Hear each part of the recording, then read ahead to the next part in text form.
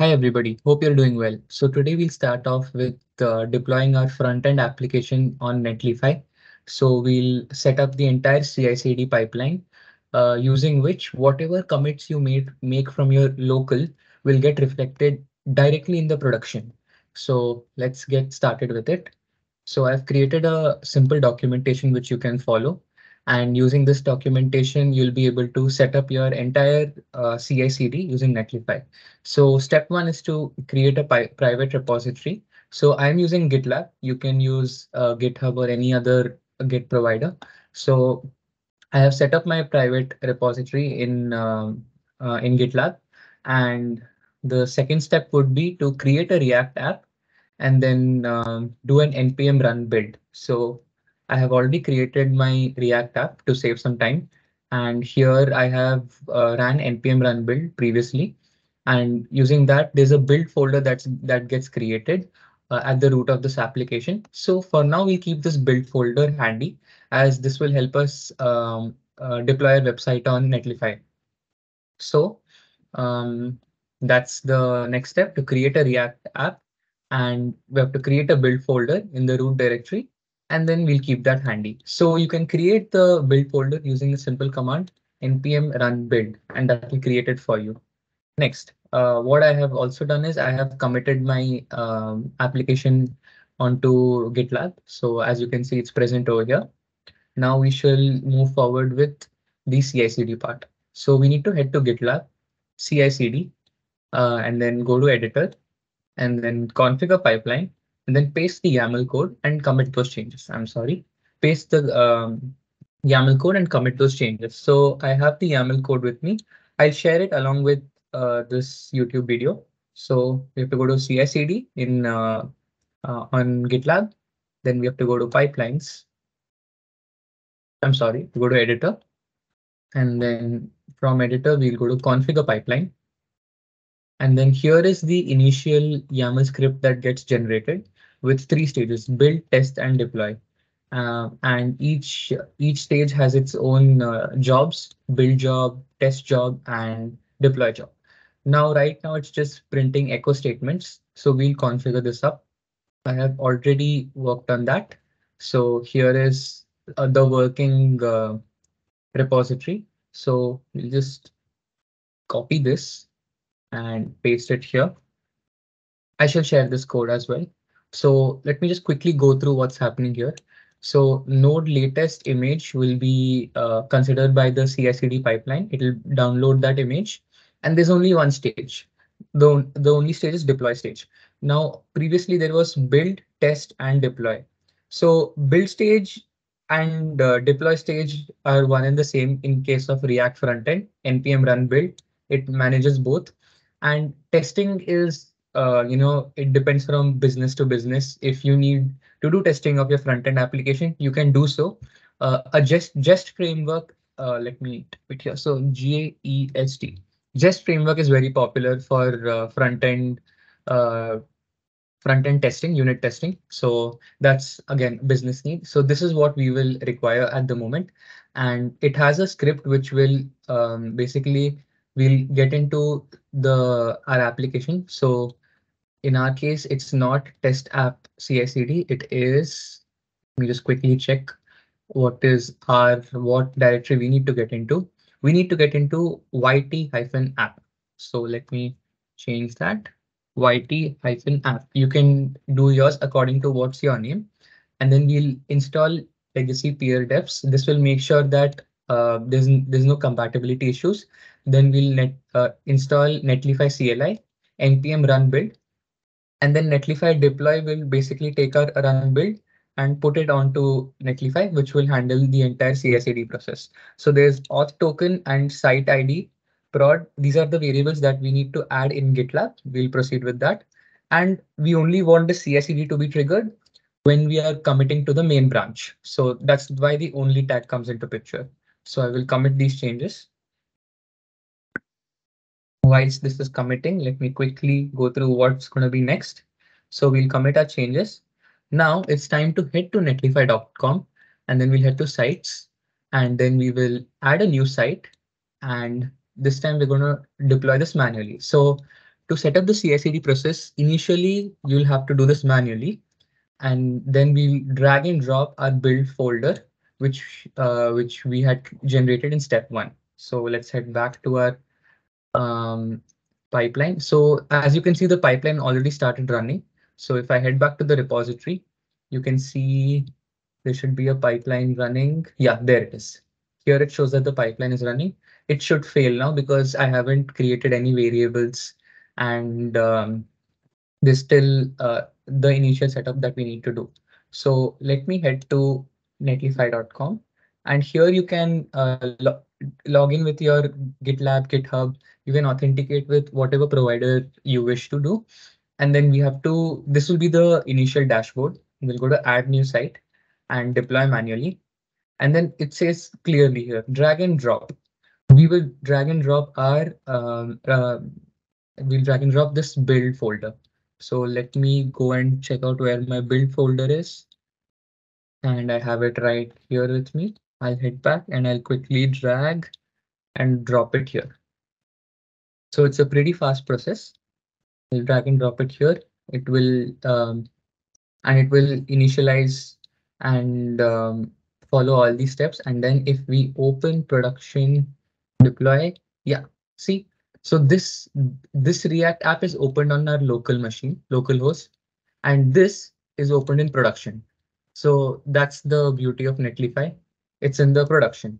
So if I head back to our uh, normal React, our uh, React app, and maybe in app.js, I would like to make a small change.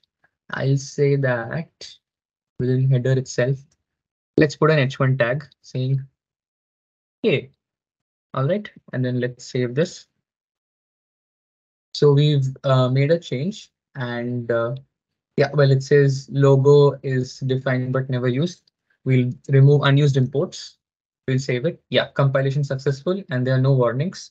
So if I head back to my app, this React app, which is open now, is uh, from Netlify's production, whereas this React app is from our local. Now, when I talk about CI/CD, what I mean to say is whatever commits we make locally here, it should directly get uh, affected in our uh, production. So that's what we're trying to aim for. So it, it happens in our local, well and good, but we need it in the production. So let's move forward with what's the next step. And then, um, so we proceeded with this step, drag and drop it. Netlify automatically builds it and you can view it. And then, um, sorry, site spelling is wrong. Yeah. And then here is your shareable website link. So if I share this li uh, link with anyone, family, friends, whoever, they can view this website. So, so that's that's also an amazing part. And uh, let's head back to this. Now we now uh, we need to set up the variables I was talking about in our GitLab. So we have to head to our profile on Netlify, applications, OAuth, and we need a personal access token and we need to copy it. So let's quickly do that. We need to head back to and applications. Yeah. So Netlify, this is the recent deployment profile, user settings, and then uh, general applications. Here it is. OAuth. Here it is. So what we need to do is we need to create a personal access token here. So this access token, we'll feed it to GitLab over here. These two are same, so I'll close this. And here we have to open your GitLab, go to settings, and then we'll head to CI/CD. So here we have our variables. So in these variables, we'll uh, add the required variables. So let me check out what's in our pre what I did in my previous repository, I had went to variables and then so the first variable we need is auth token. So key would be auth token and we'll receive our value. So we'll create a new access token and we'll call uh, we'll call this token auth token uh, for uh, for GitLab, something like that. Generate token and we'll copy this and then we'll paste it right here. And we'll add that variable. So the first variable is added. Now just click on done. That's done over here. So from Netlify part, um, I think we're good to go. So we just finished this. And then we need um, auth token. And the second variable we need is site ID. So again, for site ID, we need to head back to our sites. This is the most recent site I uh, developed. I have done so many and uh, four minutes ago. This is the latest one. So I'll go there. I'll head to, so this is where you can see uh, information about the site that's just deployed. I'll head to site settings and then here we'll receive site ID. Copy this. It comes under the general category and we'll have to add a new variable and we'll call this variable. What did I call it previously? Site ID prod. There we go. So site ID prod and then add that variable as well. Now we have two variables, auth token, site ID prod. So that's awesome. So we have added them in the variable section in CI/CD. Now, uh, what we need to do is we need to run the pipeline. So this should complete the whole thing. Now, if you remember about three, four minutes ago, I had made a commit um, and changed this to hey. Now I change it to hey, how are you? I'll save this. And this change is obviously in my local at the moment. And we need that in our production. So I have made these changes. I'll stop this server for now. Because I've stopped the server, I will close this local host. And then let me commit this quickly. Git status. Yeah, I made some changes. Git add.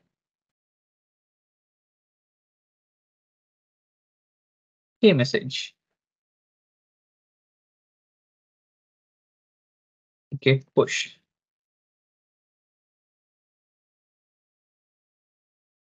Okay, so I need to pull first. So what basically happened here is um, from the front from GitLab, I actually created the YAML script. I had to pull that into my uh, local. So I just pulled it and now git push. So now it should work. Awesome, it worked. So let me head back to our repository. I have just made a commit calling it hey message. And as you can see here, our pipeline is pending, so it should quickly start up. So to check it out, we can head to CI/CD pipeline or you know click it right there. So it says it's running. So let's see. This is my stage. And let's hope it works. So now what should happen here is it should install the latest node image and Netlify CLI and whatever script that I had mentioned in the uh, YAML, script, YAML file. And then it should get reflected in our production uh, website. So let's see how if this works out or no.